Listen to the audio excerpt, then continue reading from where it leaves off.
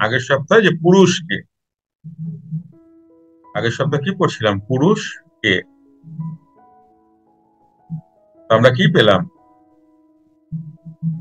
আমরা এটা পেলাম, চিরকাল আছেন ও থাকিবেন। যাহার অগ্রে কেহ নাই, যিনি শাশ্বত।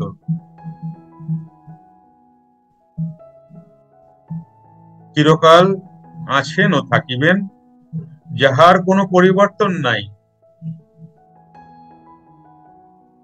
তিনি অবিনাশী, জন্ম, মৃত্যু, রহিত, তিনি পুরাণ পুরুষ। বুঝতে পারছ? তিনি পুরাণ পুরুষ। যে কারণে গুরু কি বলেন? যোগীরাজ একটা সুন্দর কথা শুনেছ? মনে আজ শুনেছে তো ঠিকই। তো মনে করিয়ে দিয়ে। প্রভুকে দেখতে অনেক দূর থেকে কাশি যেত। তো প্রভু কি বলতেন? বাবা কি বলতেন? বলতেন, আমার এই হার মাস দেখিয়া কি লাভ? কুটস্থে নজর রাখুন, উহাই আমার রূপ। কুটস্থই আমি হচ্ছি। এত দূর কেন আসতে হবে? সাধনা করুন। সাধনাতে কুটস্থে আমাকেই দেখুন, ওটাই আমি আর ওটাই তুমি। দেখো এখানে মিলে যাচ্ছে। পুরাণ পুরুষ যোগীরাজ শ্রী শ্যামাচরণ লাহিরি লেখা তো হয়েছে বাট যোগীরাজ কি বলছেন? কুটস্থই আমার জাস্ট লিখতে হয়েছে। এত ডিপ কথা কে বুঝবে বলো? এখানে লিখতে হয়েছে পুরাণ পুরুষ যোগীরাজ শ্রী শ্যামাচরণ লাহিরি একটা নাম দিয়েছে, কিন্তু এই নামটা তো নেই। নাম আছে বাট বডি কই? তাহলে তো হিসাব মিলবে না। হিসাব মিলবে না তো। বুঝতে পারছ কি না বুঝতে পারছ? শ্যামাচরণ লাহিরিকে বলা হচ্ছে পুরাণ পুরুষ। বাবা কি বলছেন? লাহিরি বাবা। বলছেন, না, কুটস্থে নজর রাখুন উহাই আমার রূপ, আর ওটাই পুরাণ পুরুষ। লিখতে হয়েছে এইভাবে। তোমরা ধরতে পারো, যারা খুব সূক্ষ্ম বিচার করো তারা ধরে ফেলবে কথাটা। এটা সেখানে মিলছে না তো। ওইভাবে এটা নয় কথা। যোগী কুটস্থ গহ্বরে প্রবেশ করিলে সব ব্রহ্মময় হইয়া যায়, তখন সমুদয় এক হইয়া যাওয়ায় আর দুই থাকে না। দুই না থাকিলে জন্ম কোথায়? আর তো জন্ম নাই। জন্ম না থাকলে কি হয়? মৃত্যুও নয়। এবং জন্ম না থাকলে মৃত্যু কোথায়? তিনি পুরুষোত্তম তিনি পুরুষোত্তম, তিনি নিত্য পুরাণ। তাহাতেই লয় হইয়া থাকা উচিত। তিনি আদিদেব, অর্থাৎ দেবাদিদেব। তাই তিনি বলিতেন, প্রাণকর্ম না করিলে সেখানে থাকা যায় না। উহাই ধর্ম। প্রাণকর্ম করিয়া সকল কর্মের অতীতাবস্থায়, অর্থাৎ ক্রিয়ার পরাবস্থায়, থাকাই শাশ্বত পদ বা অমর ধাম। অমর মানে মৃত্যু নাই। দেহের আছে, ভুল করবা না। দেহের আছে, কিন্তু আমি যে, যেটা জানতে এসছি, তা তো আমার জানা হয়ে গেল। সুতরাং আমার মৃত্যু নাই। আমি কে? এখন কে? মন। মনরূপী আত্মা। তখন কি হয়ে যাচ্ছি? আরেকটু জড়িয়ে দিই। চঞ্চল চঞ্চল মনরূপী আত্মা। এখন, আর তখন কি হচ্ছে? স্থির প্রাণ। কুটস্থে তোমার নিবাস। ইয়েস দাদা, ঠিক বলছো। কুটস্থে তোমার নিবাস। আর এখন কোথায় তুমি? বাহির জগতে। কেন? বাইরের কোন দেবতা? কে খোঁজো তুমি? এখন কেন তুমি বাইরে খুঁজছো? জানো? তুমি বাইরে কেন খুঁজছো? কে বলতে পারবে? তুমি বাহিরে ভগবানকে কেন খুঁজছো? সিম্পল অ্যান্সার কিন্তু ছোট্ট একটা অ্যান্সার কে বলতে পারবা?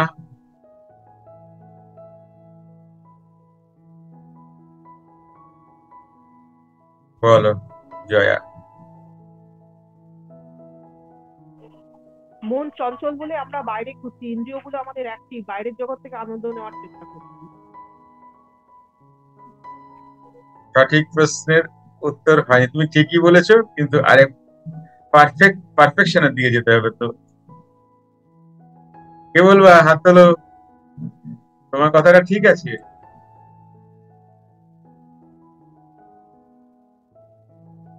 নাই ওই হ্যাঁ। ওই নেই হ্যাঁ। আচ্ছা বিভূতি বলবে। বলো। স্যার আমরা তো প্রত্যক্ষ অনুভূতি করিনি এখনও। আচ্ছা এটা এটাও চলবে। খেলা যাবে না এটা। বলো।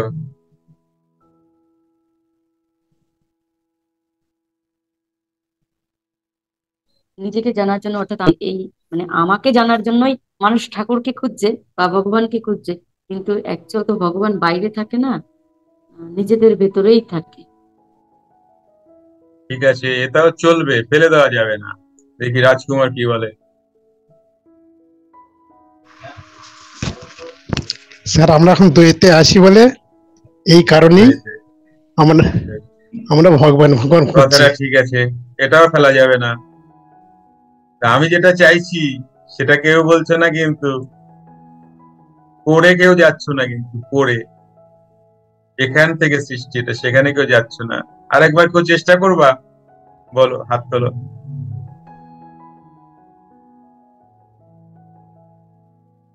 বলো জয়া। কেউ বকা খাবা না। শূন্য থেকে সৃষ্টি আমরা আবার শূন্যতেই যাব। শূন্যতেই যাব। এটা বেশি দূর হয়ে গেল এতটাও আবার বলি নাই। এটা অনেক দূর হয়ে গেছে আর না। ওইটা অনেক দূরে যাচ্ছে। আর কারও বুদ্ধি যে এতদিন তোমাদের পড়াচ্ছি, বলো, আর কে বলবা? ঠিক জায়গাটায় কেউ যেতে পারছে না, বলছে আশেপাশে। ভুল হচ্ছে না কারুর। দেখি দাদা কি বলে। অ্যাকচুয়ালি আমরা তো যে ভিতরে যে আছে, তাকে তো দেখতে পাওয়ার মতো কাজগুলো তো করতে পারছি না। সেই কাজগুলো করব তবেই না আমি ভিতরে পাবো বা খুঁজবো। সেই কাজটা তো আমরা করি না। এটাও ধারে কাছে আছে, কিন্তু মেইন জায়গায় কেউ যাইতে পারে না। মেইন জায়গায় চলো মেইন জায়গায় চলো, কে যাবা? মেইন জায়গায় কে যাবা?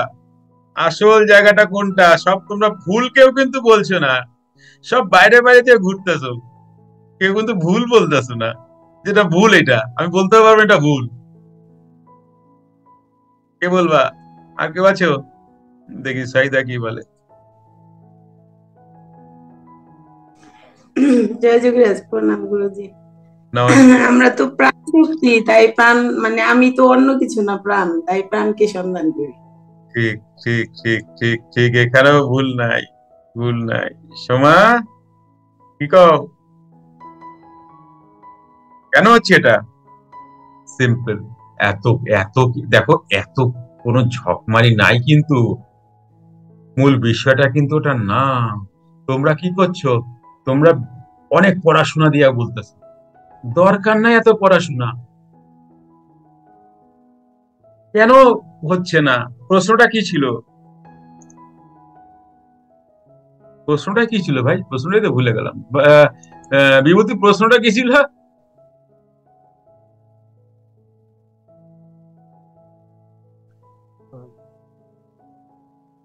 প্রশ্ন কাছে বললা সবাই বললা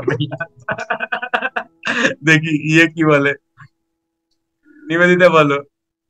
এটা ভালো হয়েছে। আমরা ভগবানকে কেন খুঁজছি? আহ, আমরা ভগবানকে কেন খুঁজছি না? প্রশ্ন গেছে ভুলে ভুলে গেছে সব।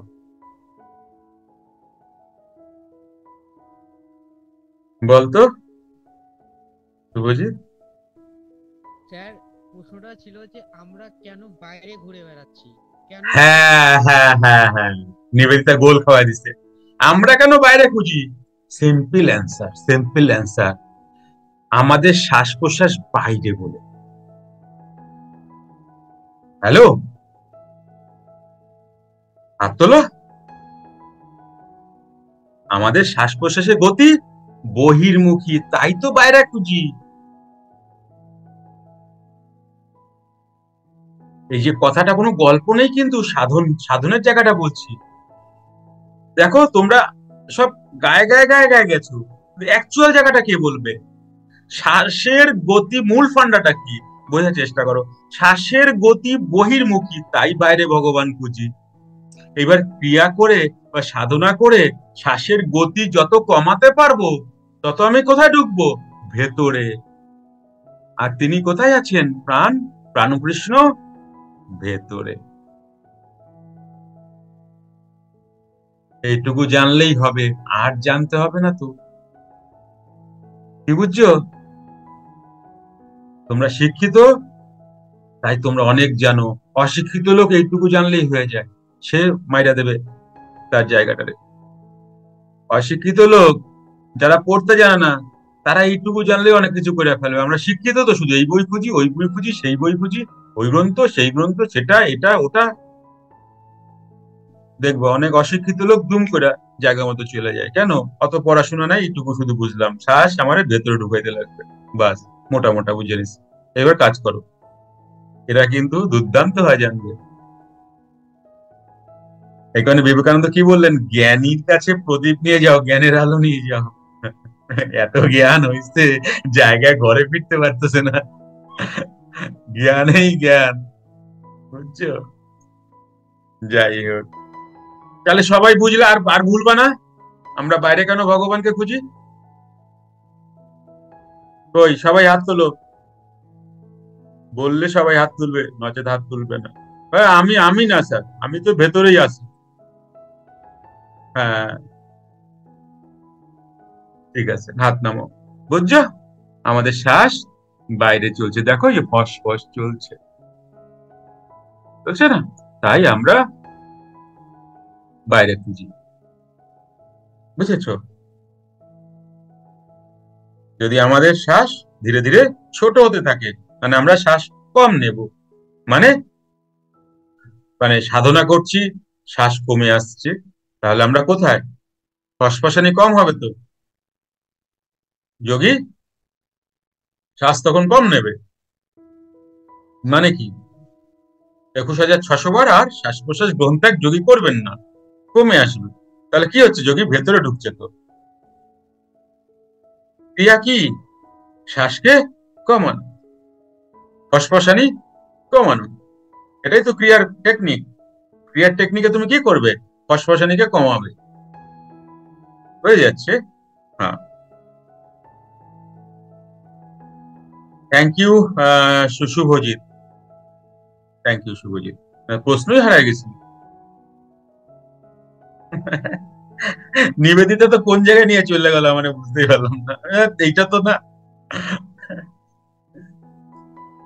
যাই হোক। প্রাণ কর্ম করিয়া সকল কর্মের অতীতাবস্থায়, অর্থাৎ ক্রিয়ার পরাবস্থায় থাকাই শাশ্বত পদ। অমরধাম সেই শাশ্বত পদে সর্বদা থাকায়, অর্থাৎ কর্মের পতিতাবস্থায় সর্বদা থাকায়। স্বয়ং প্রাণ পুরুষ, স্বয়ং পুরাণ পুরুষ হইয়া যায়। মহাত্মা কবির দাসজি কি বলছেন?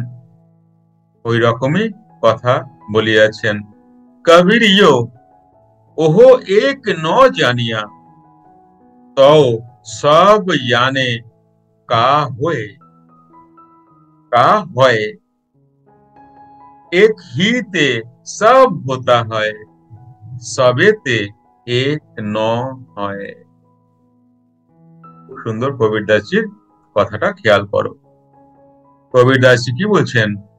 বলছেন যে এককে না জানিয়া সব কিছু জানিতে যাওয়া বৃথা। এককে না জিয়া না জানিয়া মানে নিজের প্রাণকে না জানিয়া জ্ঞানের ভান্ডার রয়েছে জগৎ জোড়া।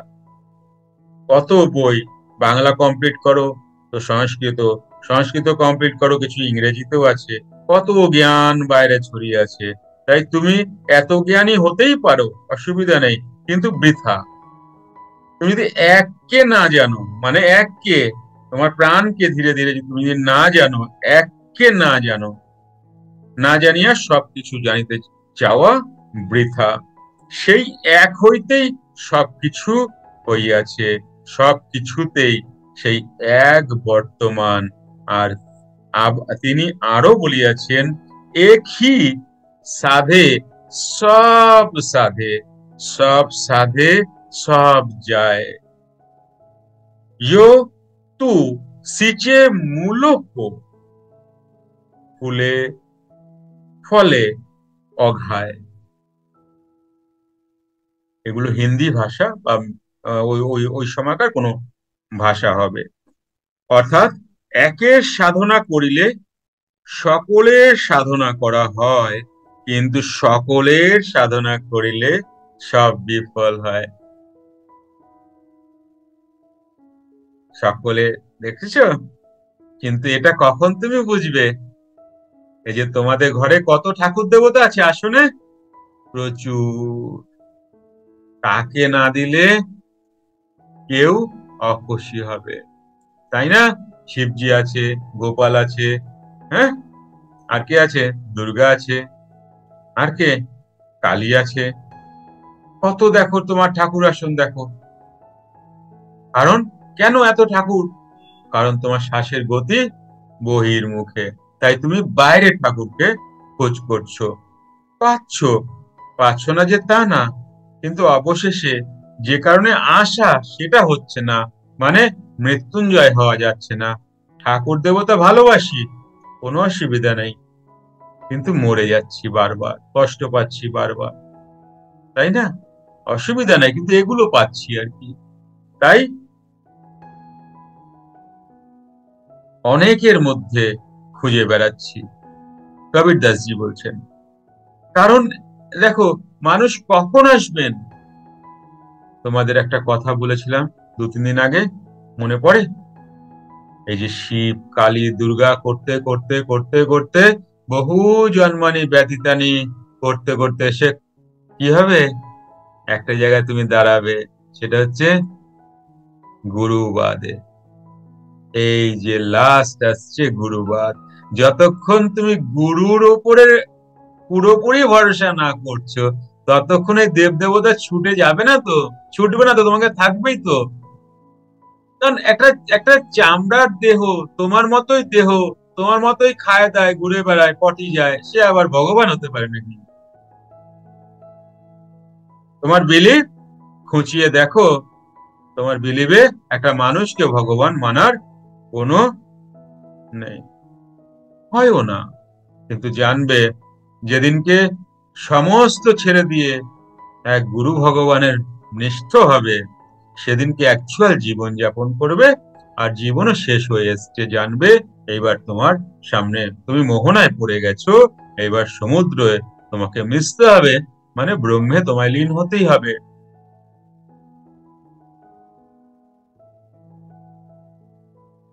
যাদের ঠাকুর দেবতা নাই, তাদের অনেক অন্য কিছু আছে জানবা। এক হতে পারছে না কিন্তু গুরুবাদে। খুব কম মানুষ, খুব কম মানুষ, খুব কম, কোটিতে কোটি, কোটিতে সামান্য মানুষ গুরুবাদে আছে। সামান্য মানে কি বলব? ক্রিয়াবানও বাড়িতে অনেক মূর্তি আছে, ভগবানের পুজো হয়, ঠাকুর দেবতা আছে, ক্রিয়াবানের বাড়িতেও। মানে ক্রিয়াবান আর কি, যারা আমাদের মতো, যারা আমরা লাহিড়ী বাবার ভক্ত, আমরা লাহিড়ী বাবার যে সাধনা করি, তাদের বাড়িতেও জানবে। এত সহজ নয়।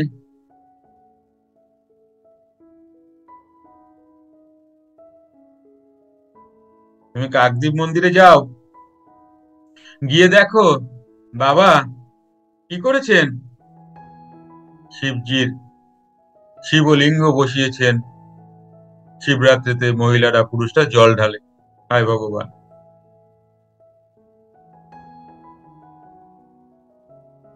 কি বলবা? কি হয়ে যাচ্ছে? তার মানে ক্রিয়াবানের মধ্যেও জল ঢালারই ব্যাপার? আছে, এখনও যায় নাই।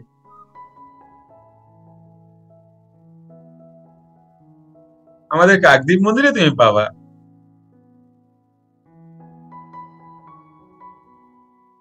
শিবের মাথায় জল ডালে ক্রিয়াবানরা এবং প্রচুর ক্রিয়াবান, এক দুটো বলছি তো, হাজারে একজনের বাড়িতে শুধু গুরুরই পাবা আর সবার বাড়িতে লক্ষ্মী, গণেশ, কার্তিক, সবাই আছে।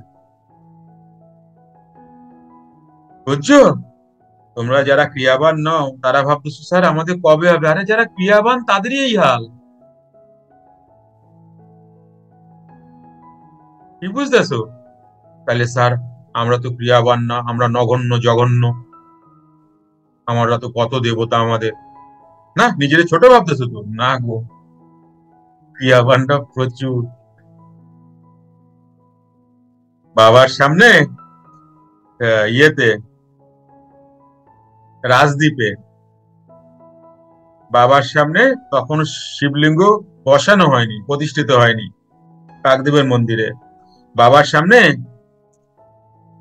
শিবলিঙ্গ নিয়ে আসতো, কোনো এক ভক্ত। সেই শিবলিঙ্গ বাবার সামনে হামলে পড়ল কিয়া ক্রিয়াবান্ডা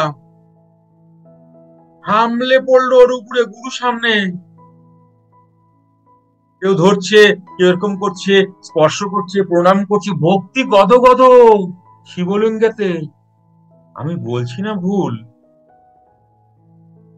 আমি এই কারণে বলছি, তোমরা দুর্বল হয়েও না। বহু জন্মানি ব্যতীতানি এমনি এমনি হয় না গুরুর উপরে ভরসা। শেষের দিকে হয়। যখনই হবে, জানবে তোমার ছুটে গেল সব।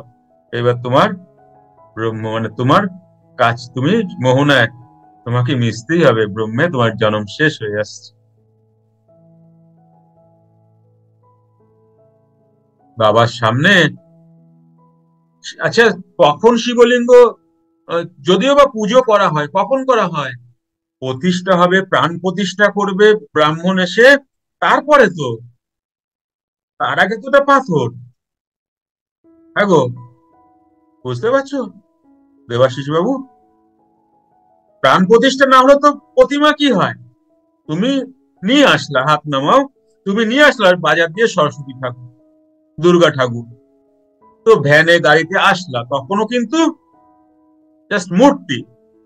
কিন্তু ব্রাহ্মণ যখন যেদিনকে এসে পুজোটা সারলেন, করলেন এবং প্রাণ প্রতিষ্ঠা করলেন, সেদিনকে হচ্ছে ওটা তোমার কাছে প্রতিমা বা ভগবান, তার আগে তো নয়।